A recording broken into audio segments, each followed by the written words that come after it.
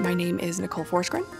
I am the CEO and Chief Scientist at DORA, DevOps Research and Assessment. Today we'll be talking about uh, the basics of DevOps. So IT performance, the way we define it and the way that we've researched it, is the ability to deliver quality code with both throughput and stability.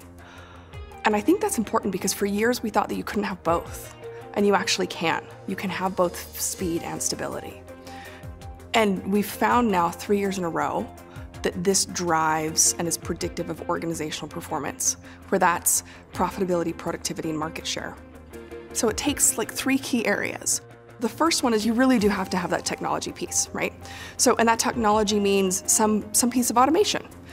So the, the key things here are like uh, use of version control, continuous integration, continuous delivery, shifting left on security, deployment automation, right? All of these things that we see that are really, really important. Um, but you can't stop there, right? That's, that's what we saw in the 80s and the 90s. It just wasn't enough. Um, the next piece is like lean management practices and principles. These are also really, really important. Things like using WIP limits, um, small uh, using small batches, small batch development, small uh, single piece flow through your systems, um, visualization of the work through the system, you know, value stream mapping, that's also really important, you know, agile processes. Um, but you can't only do that, right? If you only do that, like do your meeting standing up and not sitting down, that's also not enough. Uh, the last piece is cultural. Culture is super, super important. Having a culture that optimizes and prioritizes for trust and transparency, um,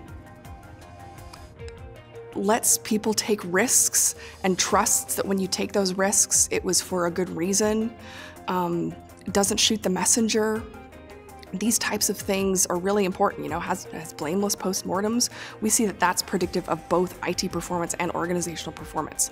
But again, you have to have all three because if all you're doing is like having pizza parties and beer on Friday, without the other two, it doesn't work. And so we found that if you have all three of these things, like IT performance goes up and organizational performance goes up and you have like this really awesome environment where technology transformations are happening and it's drastically changing the environment. It's changing what's happening and businesses are like business values changing.